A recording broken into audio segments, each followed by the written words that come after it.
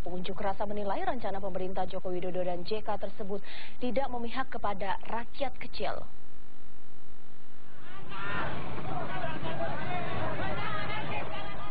Di Makassar, Jumat 7 November 2014, sebuah stasiun pengisian bahan bakar umum di Makassar, Sulawesi Selatan disegel oleh puluhan mahasiswa Universitas Muhammadiyah Makassar.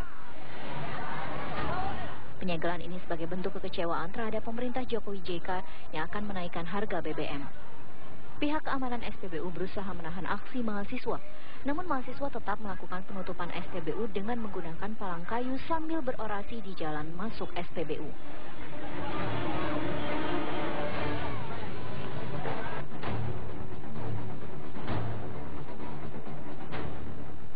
Jumat 7 November 2014 di Banda Aceh, Aceh, puluhan masa Hizbut Tahrir berunjuk rasa di depan Masjid Raya Baitur Rahman, Banda Aceh, menolak rencana kenaikan harga bahan bakar minyak.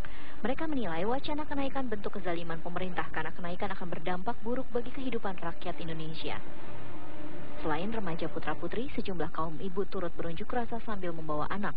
Mereka membawa poster dan spanduk menolak kenaikan BBM.